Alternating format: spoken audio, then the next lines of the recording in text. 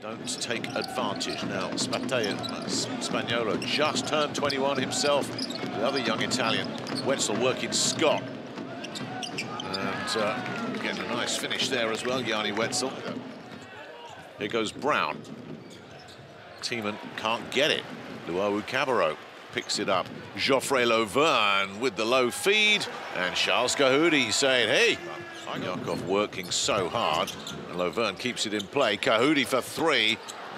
Collected beautifully there. And Jackson comes up with the uh, spin move. And Edwin Jackson, the veteran, who started his career with Asvel, finishes the first quarter with a buzzer-beating.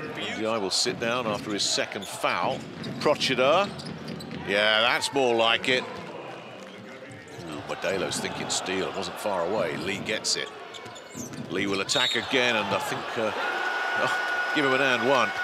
Although uh, Scott again tries the wing three that was never online, and that's going to be collected by Procida, who gets past Paris Lee, drives his way through. No whistles, no fouls, no nothing. Just a beautifully floated finish to their overall standings. Obviously, a postseason run is pretty much impossible. Brown with the feed to Koumadje, and Mr. Accurate from that kind of range makes absolutely sure there. Van on him, of course, Wetzel.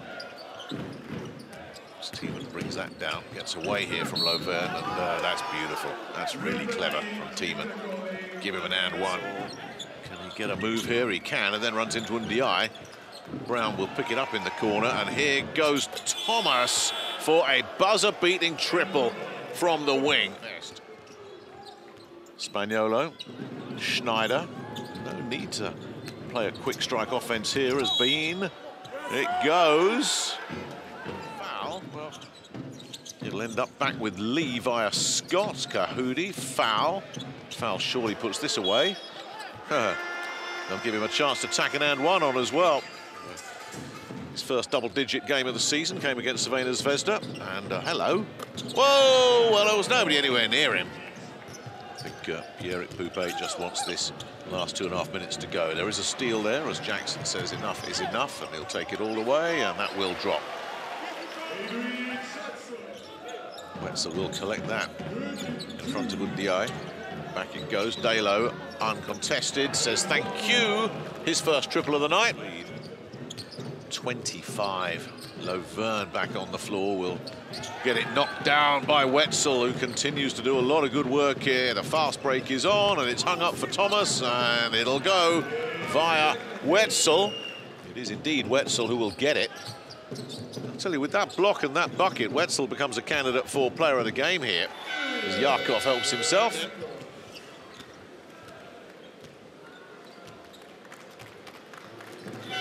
At long, long last, Israel Gonzalez and Alba Berlin get a win on the road, and they burst the Asvel bubble. Two wins on the spin at home for Asvel.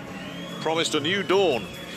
Asvel find that their sky is filled with clouds once again. Because I mean, we we didn't expect anything. Uh, we just gotta gotta prove it on the on the core, uh, play hard, and I mean the motivation was was very high because uh, in this new year we didn't get a a win. Um, and also we, we are working very very hard, but we're still losing some games also for few points. So today today we have a, we had a good proof.